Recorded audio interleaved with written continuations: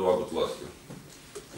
Під час весняного призову призову підлягало 662 чоловіка, під час осіннього 606 чоловік.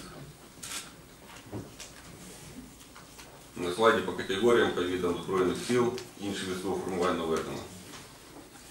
Наслу- Наступний слайд, слайд номер 3. На даному слайді висвітлена динаміка виконання район, е, районами Полтавської області відповідно головами призовних комісій районних планового завдання.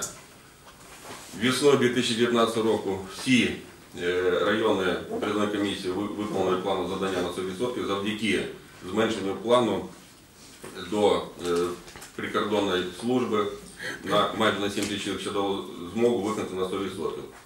Але в осені під час виконання плану завдання 606 чоловік не всі голови призовної комісії вика- справились з поставленими завданнями.